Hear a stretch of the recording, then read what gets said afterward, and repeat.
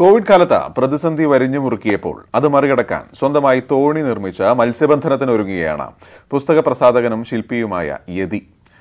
കോവിഡും അനുബന്ധ ലോക്ഡൌണും ഇരുളിലേക്ക് നയിച്ചപ്പോഴാണ് കോഴിക്കോട് അത്തുകളി സ്വദേശി യതി അതിജീവനത്തിന്റെ പുതിയ വഴികൾ തേടിയത്.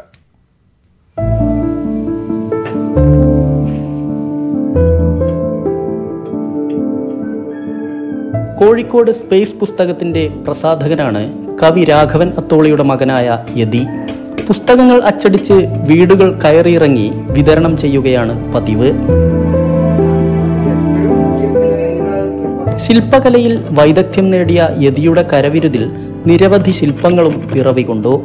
എന്നാൽ കഴിഞ്ഞ ഒന്നര വർഷത്തോളമായി ഈ മുപ്പതുകാരൻ കടുത്ത പ്രതിസന്ധിയിലാണ്. കോവിഡും അനുബന്ധ ലോക്ക്ഡൌണും ജീവിതത്തെ തകിടം മറിച്ച ഒരു കൂട്ടം മനുഷ്യരിൽ ഒരാൾ. പുസ്തക പ്രസാധനം നിലച്ചു. വീട്ടിൽ നിന്ന് പുറത്തിറങ്ങാനാവാതെയായി. ശില്പങ്ങൾ ധാരാളം നിർമ്മിച്ചെങ്കിലും കച്ചവടം മാത്രം നടക്കാതെ വന്നു. പക്ഷേ തോറ്റുകൊടുക്കാൻ യതി തയ്യാറല്ലായിരുന്നു. അങ്ങനെയാണ് ഒരു തോണി ഉണ്ടാക്കാൻ തീരുമാനിച്ചത്. പിതാവിന്റെ സുഹൃത്തുക്കൾ സാമ്പത്തിക പിന്തുണ നൽകി. യതിയുടെ പരിശ്രമത്തിൽ പതിനഞ്ച് ദിവസങ്ങൾ കൊണ്ട് തോണി നിർമ്മാണം പൂർത്തിയായി.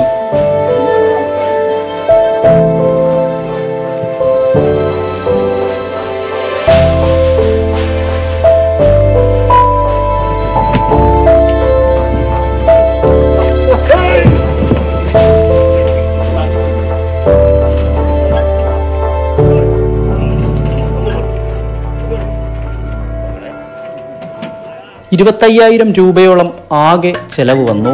പിതാവ് രാഘവന്റെയും സുഹൃത്തുക്കളുടെയും സഹായത്തോടെ തോണി നീറ്റിലിറക്കി.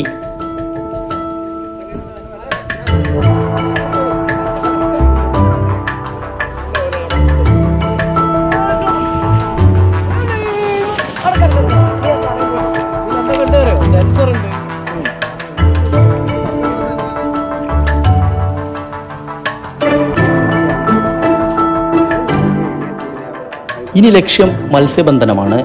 കോരപ്പുഴയിൽ ധാരാളം മത്സ്യമുണ്ട്. ജീവിതത്തെ മുന്നോട്ട് കൊണ്ടുപോകാൻ ഇതാണ് ഇപ്പോഴത്തെ സാഹചര്യത്തിൽ നല്ലതെന്ന് യതി പറയുന്നു.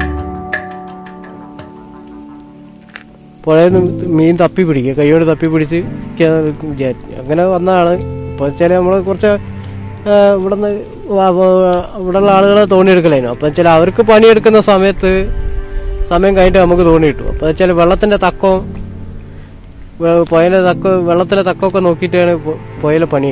അപ്പോൾ വെച്ചാൽ അവരുടെ കാര്യം ഇത് കഴിഞ്ഞിട്ട് വരുമ്പോഴത്തേക്ക് അവർ തക്കത്തിന് മീൻ പിടിച്ച് അവരുടെ പണി കഴിഞ്ഞിട്ട് നമുക്ക് തോന്നിയിട്ട്.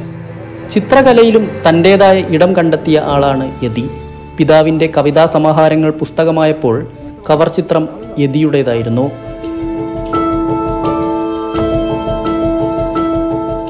കോവിഡ് കാലം മനുഷ്യരെ ഒരുപാട് മാറ്റിക്കളഞ്ഞിട്ടുണ്ട്. അങ്ങനെ മാറിയ ഒരാളാണ് യതിയും.